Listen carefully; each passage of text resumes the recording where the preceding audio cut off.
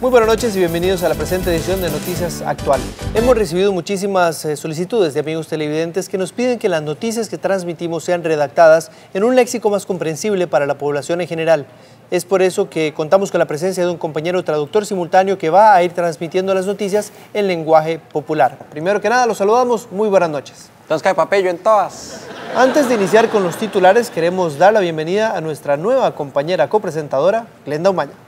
Buenas noches, Edgar. Encantadísima de estar aquí. Qué bueno que tenemos ese traductor. Está guapa la macheta. Vamos de inmediato con los titulares de hoy. Lléguele. Un estudio reciente reveló que el desempleo creció un 25% este año. Se puso gacha la vara con el brete. Sin embargo, también reveló que hay un incremento de la demanda de personal bilingüe. Es una buena noticia. Ya lo saben la choza, además de hablar español, aprende a hablar paja, aunque sea. Y un nuevo estudio científico determinó que dos de cada tres personas sufren de insomnio. Qué vara, si yo que me estoy ruleando aquí en el brete. El problema se agrava para estos individuos debido al alto costo de los medicamentos y atención especializada. Y ahí no queda de otra que chulearse una ramita pasiflora en el jardín del vecino para hacerse un tecito entonces. En el clima, las secuelas de la tormenta tropical Elena seguirán afectando el país durante el fin de semana. Va para largo el baldazo. Amenaza con pasar a la categoría de huracán. Fuera vara. O sea, la carne asada y la mejenguita el domingo.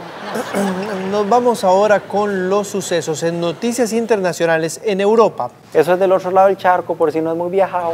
En Europa, específicamente en Francia, a pocos kilómetros del aeropuerto Charles de Gaulle, Charles de Gaulle. Yo ando pañuelo, machita, por si lo tiene pegadillo, ¿va? a pocos kilómetros del aeropuerto se reportó un accidente aéreo eh, de un avión que se estrelló contra una montaña. Viera qué gacho ahí en el aeropuerto de Francia y en el Carlitos Gallo. Ahí, le avioné, se estrellé. Afortunadamente no se reportó ninguna víctima mortal ni heridos de gravedad. Y por dicha ningún franchute palmó, ah, pero que se le paró la peluca, se le paró la peluca, usted sabe qué miedo.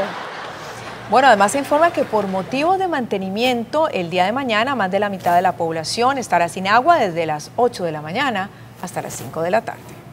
Sí, a tonto, va a estar agrio el tufo en el bus, a que aletazos. Mejor continuamos con los sucesos. Va a seguir. Compañera. Una redada del OIJ en un barrio marginal logró decomisar cerca de 500 kilos de droga. Qué pecadito, ah. Ahí por la hechosa mía. Y le cayó la ley a, a, a Chupepo y se le llevó todo el negocito. Para finalizar, en los deportes, Al fin algo bueno, ¿eh? el técnico de la selección nacional anunció esta mañana que decidió no convocar a más de la mitad del plantel de jugadores que utilizó para la etapa de eliminatoria. Oiga usted, más de uno baja lado. Ey, está bueno por per. Estos fueron los titulares de hoy en Noticias Actual. Voy jalado. Machita no quiere ir a mi casita y le invito un espagueti. Se disculparon. ¿Qué clase de traductor?